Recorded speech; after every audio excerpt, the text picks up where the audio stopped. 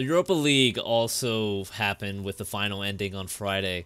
Um, Inter Milan losing out to Sevilla. Sevilla just a long history in that competition.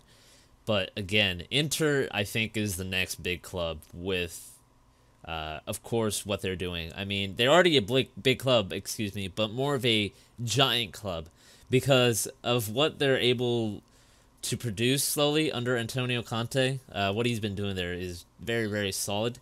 Uh, I think it's, it's definitely going to keep growing. I mean, they brought in key players such as Lukaku, um, Ashley Young, and then they brought in Christian Eriksen. Those players have looked far, far better than they did in the end of their years at the Premier League under Manchester United and uh, Tottenham, but still looking looking very good. And I think that the future for them is winning that Scudetto, the in Serie A, and winning a Champions League or trophy.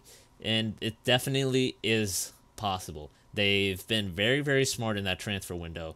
Some key signings that are like just very uh, top class because those players have been really brought back to near their prime, such as Christian Eriksen, like uh, using what left what he had left on his contract to bring him in.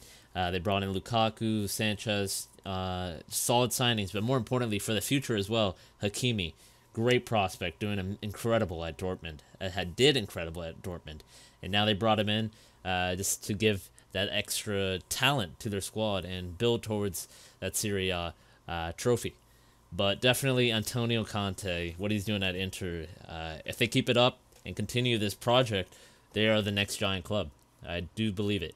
Because there's some clubs who are falling off right now, just not winning trophies, not really uh, at the status you expect them at uh, in terms of success uh, for the level of club they are. And I think Inter's slowly building towards that specific goal, and they for sure will be the next giant club if they continue what they're doing. Bring in top players and they have a solid manager and keep going over those uh, trophies and getting to these finals and really all they have to do is secure it and win that trophy.